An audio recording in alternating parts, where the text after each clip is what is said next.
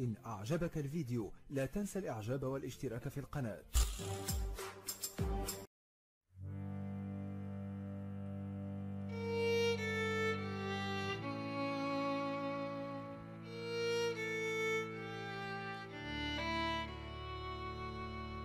عاجل وفاة فنانة وإعلامية مشهورة جدا منذ قليل.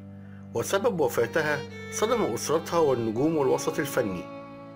وفاة الفنانة والإعلامية ملك إسماعيل متأثرة بكورونا. توفيت مساء اليوم الإعلامية ملك إسماعيل إثر إصابتها بفيروس كورونا المستجد. ومن المقرر تشييع جثمانها من مسجد السويدي بالتجمع الثالث غدا. وكان الرئيس عبد الفتاح السيسي قد أمر مؤخرا بنقل الإعلامية القديرة إلى مستشفى كبر القبة العسكري بعد إصابتها بفيروس كورونا.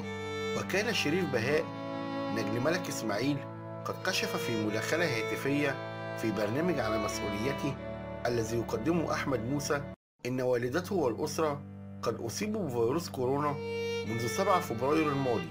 وتابع بدأنا العلاج ببروتوكول كورونا منذ اللحظة الأولى لتتحول التحاليل إلى سلبية يوم 28 فبراير.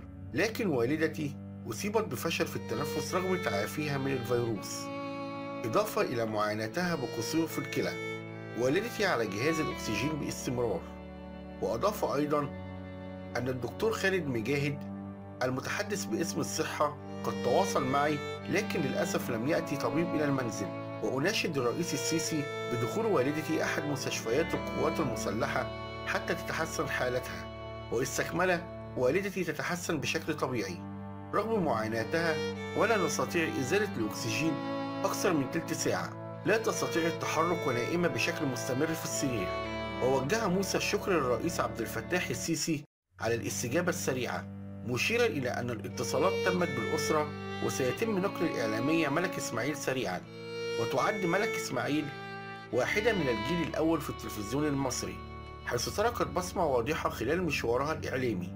وذلك على مدار أكثر من 30 عاما عملت خلالها كمذيعة ربط وبرامج. وتقلدت عدة مناصب منها رئيس القناة الأولى ومستشار ونائب رئيس التلفزيون.